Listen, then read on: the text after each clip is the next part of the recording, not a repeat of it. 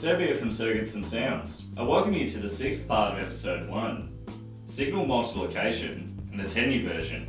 This video will be my last part in episode 1, before we start moving forward with the other modules that I'm wanting to put inside the box. Today we're going to focus on what is called the utility modules, the buffered multiple and the quad attenuverter. Like the LFO and the envelope generator, We've been using these modules in my previous videos for patching, but now it's time to take a dedicated look at what's going on behind the panel. First we'll take a look at the buffered multiple.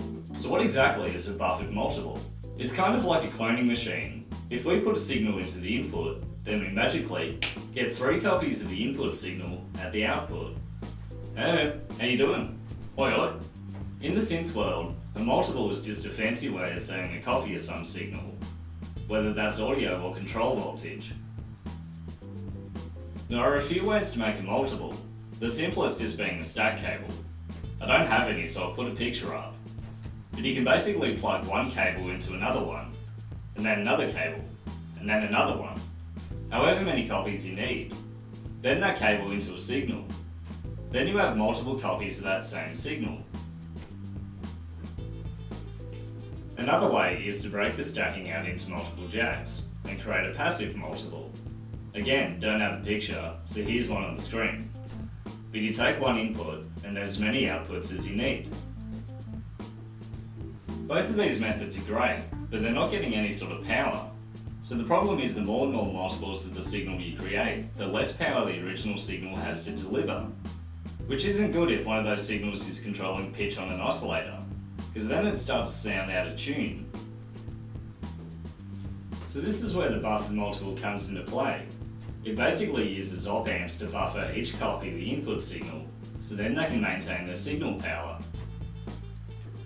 The idea is that the input has a very high impedance, therefore reducing any unwanted interaction with any previous circuit stages, and a very low output impedance, so that the multiple copies can deliver their full power to wherever they need to go. That's the basic premise of a buffered multiple. It's not the most exciting module in the world, but it sure is handy. Sure is. I'll say. Really expands your sound making options. Alright, this is wigging out. Can you guys get out of here please? Come back later and I might have another job for you. Well this sucks. Oh come on, really? Never wanted to help anyway. I don't pay you all for nothing. You don't pay us at all. Jeez, some people. Anyway, let's take a close up down here. So this module is based off Sam's 1161 buffered multiple, which you can find just up here. But I've actually done the opposite to most of my other modules, and I've reduced the amount of features that this module has, just to keep it nice and tidy. Well, I took one output off and saved myself an op amp or two, so it's not exactly the end of the world. But as you can see, we have two copies of the same circuit, each with one input and three outputs, four if you include the LED. So the multiple kind of works like the opposite to a mixer. Instead of taking many ins to one out, we take one in to many outs. So let's plug in the LFO and the envelope generator, just for the sake of demonstration purposes. We can then take these copies to wherever we need in the synth for modulation, with no drop in power delivery. We don't need to go through any patches with it. You've already seen in my previous video how we can put both audio and CV into the mult, and then get three copies of the input, with the fourth being used to light up the LED. So let's just jump straight into how the circuit works behind the panel. So as we can see, it's a fairly straightforward circuit, with only a single quad op amp tube required. Also note that we have two different grounds, as I've converted this to my single rail standard. We have our actual ground, or battery negative, and then our virtual ground for the input and output jacks. We can see on the left hand side here that we have our input jack, which is connected to all four of the op amps wired as non-inverting buffers, with a 10 amp pull down resistor connected to actual ground, which creates our very high impedance on the input side. Each op amp creates a buffered copy of the input signal, with three of them being used for the output jacks and the last one for the LED indicator. We can also see that on the output of each op amp, we have a 100 ohm resistor, creating the very low output impedance so that each copy can deliver its full power, and then a 1k for the LED so we don't burn it out. This entire circuit is then copied a second time so that we can have two different signals to create copies of. Well, that's all there is to it. Let's move on to attenuverter. So the word attenuverter is a combination of the words attenuator and inverter, which means that this module can take an input signal and we can either adjust its level in the positive direction or invert it and adjust its level in the negative direction. Normally an attenuator is just a single knob for a parameter on a module, but since I didn't have any in my synth and I wanted to play around with signal inversion, I just made a dedicated module and made the most of the available space. So now we have the quad attenuverter. So to demonstrate how attenuversion works, I think I might call in some help again. Oi guys, come back. I promise I'll pay you this time. What is it this time? I was literally just about to have lunch. Ugh, how much more work? You're gonna help me demonstrate how attenuversion works. Attenu what? Just shut up and listen for a sec, alright? So imagine that each of these guys is a different kind of signal going into the attenuator. Hey, I'm looking good. What the hell is this? I haven't changed at all. Yeah, I've got a special job for you. Just give me a minute. So the idea is that we can take these signals and put them into the attenuator, and then adjust their level in either the positive or the negative direction, like so.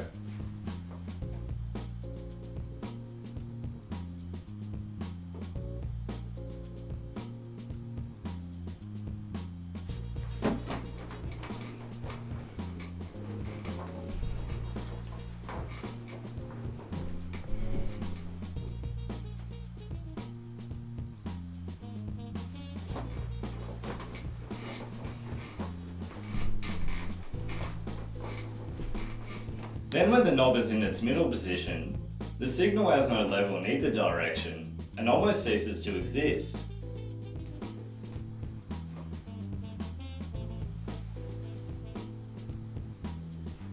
What a roller coaster. I need a minute after that. You could say that again. So next, I wanted to demonstrate a concept known as phase cancellation. So this is where you come in.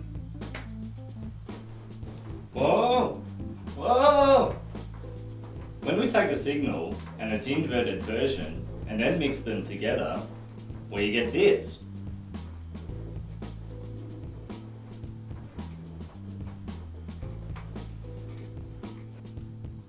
Uh, you guys still there? Hello?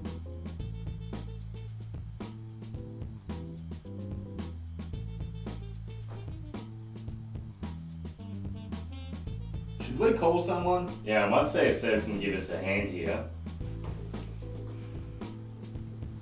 Ah, just kidding. We all good. You had us worried, guys.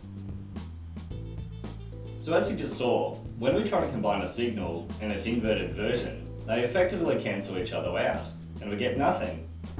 It's kind of like adding negative 1 to 1. What do you get? Zip. Zilch. A big fat zero. Alright, so you get the basic gist of the attenuator. Let's take a close up down here, and maybe go through a quick patch or two. Wait, wait, wait. Hold up a second. You said we were going to get paid for this. Especially after everything you just put us through. Hey, yeah. Um, I can't find my checkbook. Look, come talk to me after the video is done, and I'll see what I can do. This had better be worth it.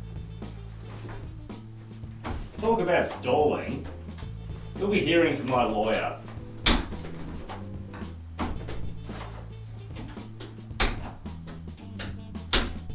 Alright, let's keep moving forward before those guys start a union against me.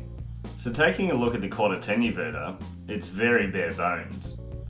We have an input, an output, and then a level control in either the positive direction or the negative direction. Then when the pot is in its middle position, the signal has no level in either direction and just sits where it is. And then we have an LED to indicate what the attenuator is doing to the signal. This circuit is then copied four times, so we get the quad attenuverter. Well, that's all there is to it. Let's go through a quick patch or two to demonstrate how it works. So for this patch, I thought I might recreate the locked in rhythm, bassline, melody sort of thing, extracted from a drum loop. Just so we can give a brief demonstration of how the attenuator works in both the positive and the negative direction. So if I first unmute the mixer, we can hear that we have a drum loop coming from the iPad, which is going into the bottom buffered multiple, with one copy going into the mixer so we can hear it, and then another copy coming up into the envelope extractor. Then taking a copy of the envelope extractor into the top buffered multiple. So we can take one copy over into the attenuator, and then another copy directly into the individual CV of the third oscillator on the TTO. So we can hear that we're getting a little melody or bass line locked in rhythm with the drum loop. This melody is then ran through the filter and then out into the mixer so we can hear it.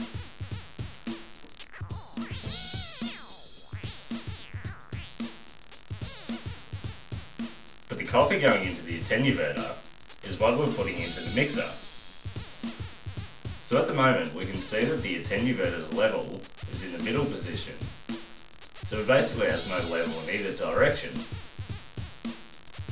We can still see it flashing very slightly, but nowhere near as much as when I turn it to the right and increase its level in the positive direction.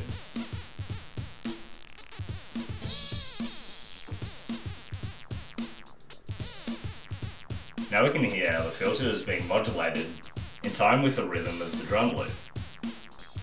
But now, let's turn it to the very left side and create an inversion of the extracted envelope.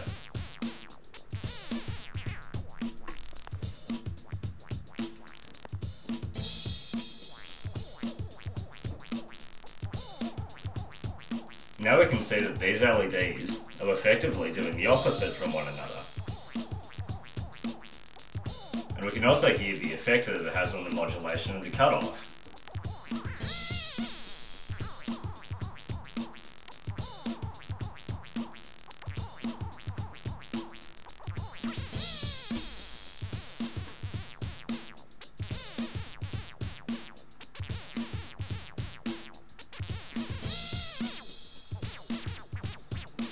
Now the other idea with the attenuator is that we can also adjust its level so if the effect of the filter is just a bit too much, we can just dial it back a little bit.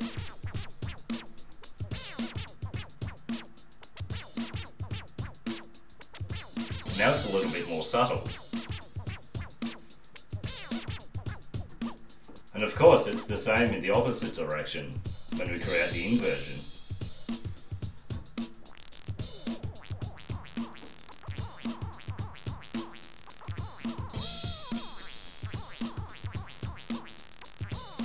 Dial it back a little bit, and it's not, and it's just that little bit less crazy.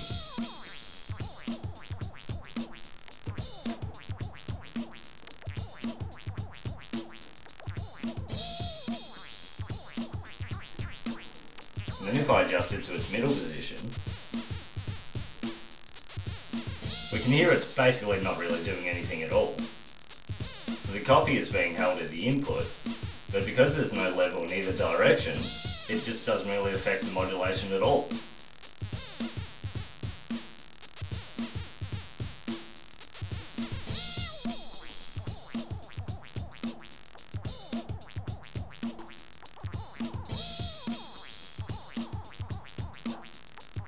Alright, I think we get the basic gist of what's going on now.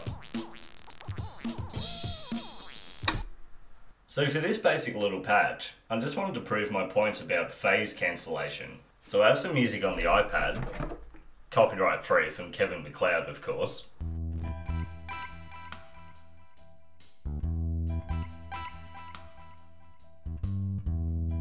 So we have the copy from the music coming into the buffered multiple, with one signal going directly into the mixer, and then another copy coming over into the attenuator with that also going into the mixer. Now at the moment, the signal going into the attenuator is turned as far as it possibly can to the right. So we just have an exact copy of what's going into the multiple.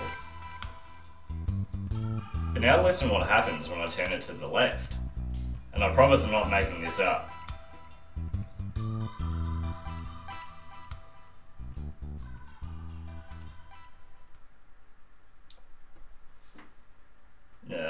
Where'd the music go?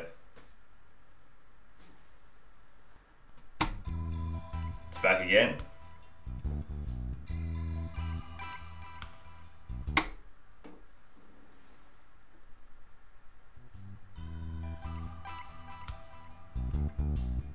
So we can hear that when we create the inverted copy of the music, it really does cancel each other out when it combines with the positive version.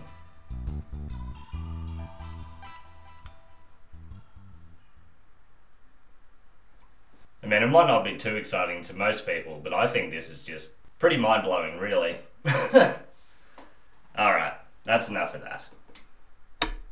So, jumping straight into how the circuit works behind the panel, let's take a look at the schematic for an attenuverter.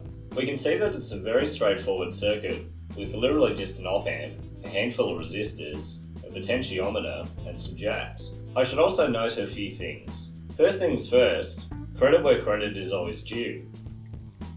This is a circuit by Skull and Circuits. I can't remember where exactly I found it on the interwebs, but whoever you are, Mr. Skull, thank you very much. The next thing is that we have two different grounds. Our jacks are connected to the virtual ground at 6 volts, and then this potentiometer here is connected to actual ground at 0 volts. So let's imagine that we've plugged our extracted envelope signal into the input jack. The signal is fed into the op amp, which is configured with both inverting and non-inverting inputs, giving us a gain equation which is equal to V out is equal to 2 times A times the V in minus V in again, where A is equal to a number between 0 and 1, representing the position on the level control. When the level control is turned fully to the right, we can say that A is equal to 1 and that V out is equal to V in. So let's quickly plug this into the equation. If we say 2 times 1 times, and let's just say we have 7 volts on the input, 7 minus 7 equals 7. So this means that the circuit just functions as a voltage follower, as no current is flowing through either of the resistors, and it is all instead directly going through the non-inverting input and onto the output. When the level control is turned fully to the left, we can say that A is equal to 0 and the non-inverting input is grounded to 0 volts. So putting this into our equation, we can say that 2 times 0 times 7 minus 7 just equals negative 7. So this means that all the current flows through the negative feedback path, giving us a simple inverting unity gain amplifier. Then when our level control is in the middle position, we can say that A is equal to 0.5, and the positive and negative gain cancel each other out, and V out just becomes 0. So we can say that 2 times 0.5 times 7 minus 7 is equal to nothing. So therefore, the input signal is just held there and can't make it through to the output. This circuit is incredibly simple and really offers so much flexibility with signal routing and modulation. However, due to its fairly linear response, the middle position can be very difficult to dial in. To combat this, there was a precision attenuverter circuit out there which changes the response to something more non-linear. More can be found in this blog post right here, which I've just been using as my information to summarise for you all. But it goes into a bit more detail about precision attenuversion and the response and all that, so definitely check it out if you want to know a bit more. On the output of the attenuverter, we also have a 1k resistor, just for a little bit of current limiting. I should also point out that we have our indication LED connected to the output as well. I only just realised I forgot to draw it in,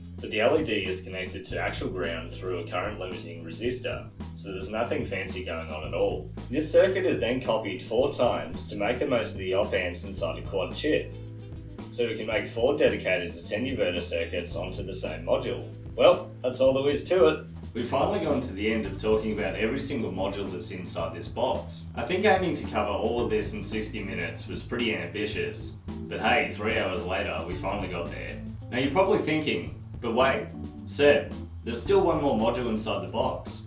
What about that amp in the corner? Well yeah, that's true.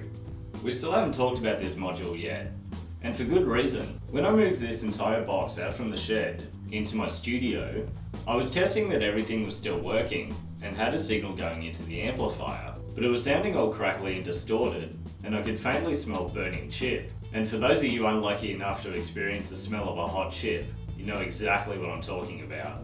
And I don't mean the beer butted kind. But I quickly turned the power off and unplugged the module, and I haven't used it since. Which has been fine because I've had to use this little preamp analog to digital converter thing for you to be able to hear everything coming from the machine properly.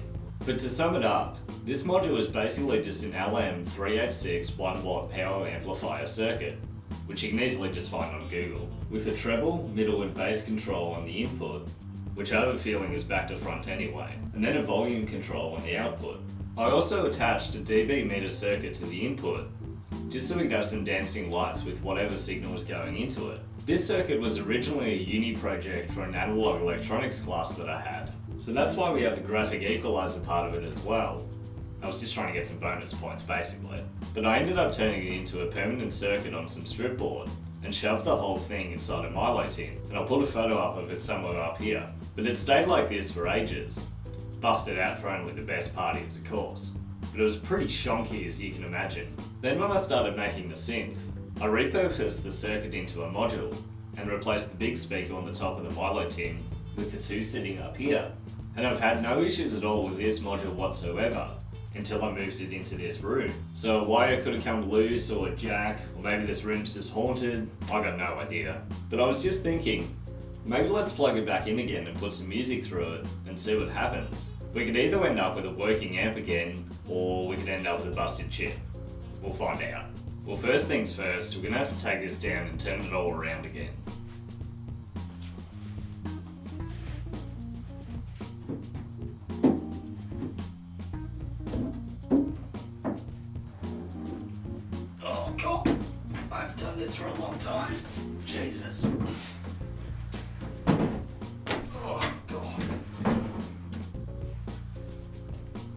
Forgot how heavy this was.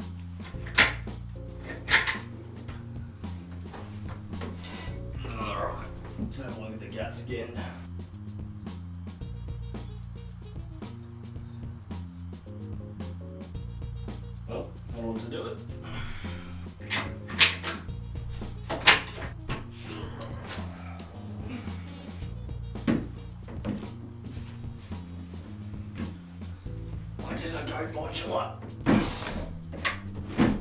Alright, so I've got the iPad connected into a cable so we can just stick it straight into the amp. Let's first get the music going, then I'll turn this back on and we'll see what happens.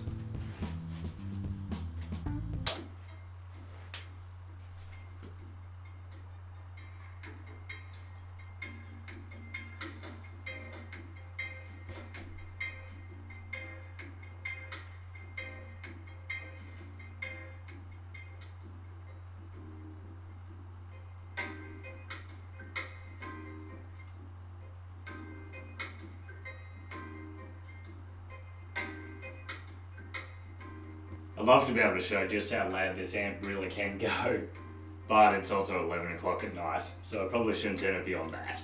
And as you can see, we've got the little dancing display as well, which is pretty fun to watch. Well, seems to be working then. What's that? Maybe I should also give it a quick smell check just to make sure. You never know with these things.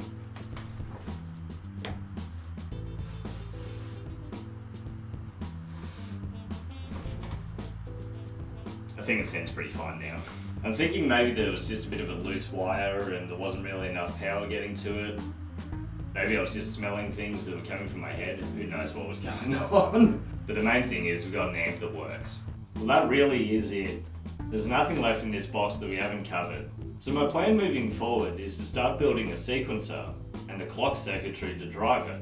When this happens, I'll be able to start making melodies completely from scratch and it'll actually pull all of these modules into one cohesive system. I am super keen to start building something again, and hopefully show off a bit more of my testing and developing stages, from breadboard to final module. I'm also back at uni in a few weeks. Final year, here we come. But when this happens, I'm gonna have like 10 minutes a week to be able to film some stuff here and there. So I apologise in advance that this slows right down for a while. But fear not, as Arnie once said, I'll be back. See you next time, everyone. Alright, I'd better get out of here before those idiots come looking for me. Oi, we're to collect our pay. Come on, Seb, cough up. Hey, wait, he's not even here anymore. Look,